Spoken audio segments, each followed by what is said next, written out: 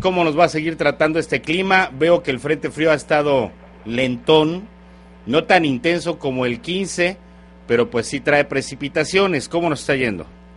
Eh, pues nos ha ido muy bien en cuanto a la cuestión que se preveía. Eh, sí, se ha, dado, se ha estado la lluvia todavía de 20 a 70 milímetros el día de ayer. Hoy todavía esperamos esa condición de lluvia de 20 a 70 milímetros. No tenemos ningún problema ya con los ríos. Los ríos están sumamente bajos porque llueve de manera más aislada.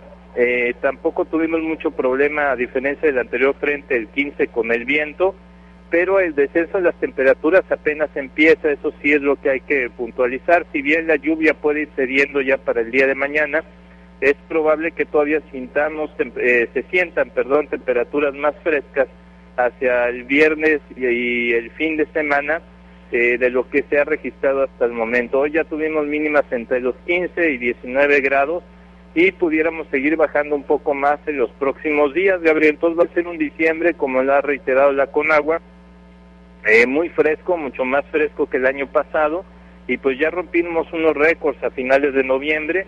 Eh, eh, en diciembre no está fácil romper los récords, hablamos de, de récords de 8 a 10 grados, pero sí podemos tener episodios de mínimas de temperatura por lo menos entre los 12 y 17 grados, como de hecho ya nos sucedió con el Frente Frío número 15. Entonces, en cuanto a niveles de ríos no hay preocupación, eh, no son lluvias que favorezcan encharcamientos importantes tampoco, pero sí tomar en cuenta que el tiempo va a seguir fresco, las lluvias intermitentes, que mañana ya cede mayormente el efecto de lluvia, pero que nos vamos a quedar con estas temperaturas eh, frescas durante lo que resta de esta semana.